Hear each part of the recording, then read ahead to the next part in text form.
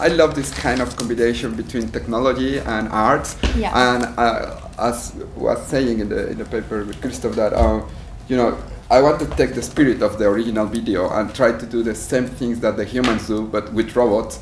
And I want to see the the um, reaction of the people. You know. Let me show you some of the awesome things that I can do. Do you want to dance? Yes. Yes. Excellent. Let's go to dance.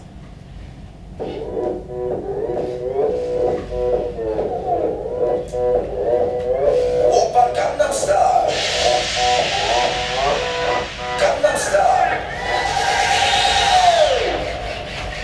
오빤 강남스타일 So I was just wondering if you could explain to me what process you needed to go through to get the robots, um, I guess, ready to, to do this dance, to do the Gangnam, Gangnam style dance. Oh, yeah. Well, um, in fact, it's, it was a long process Yeah. because you start to do the animations. So we have some software to do the animations. Yeah. Well, in fact, it's this software.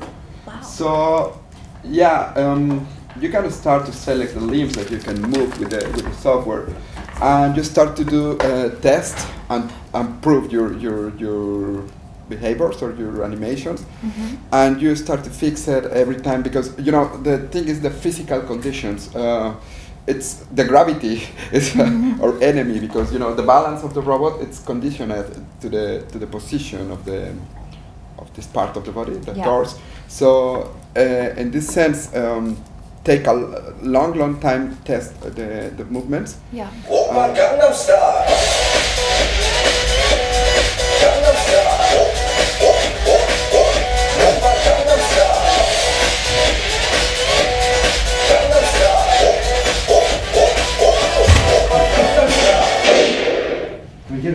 So I, I can imagine that in, um, you can have actors and some kind of uh, robot actors with um, good sensors and good uh, artificial vision and a little bit of artificial intelligence that Yeah. can react in uh, overcoming situations, uh, or unexpected situations. You know, like real human actors Yeah. could be could be great. You know, that, that's 오빤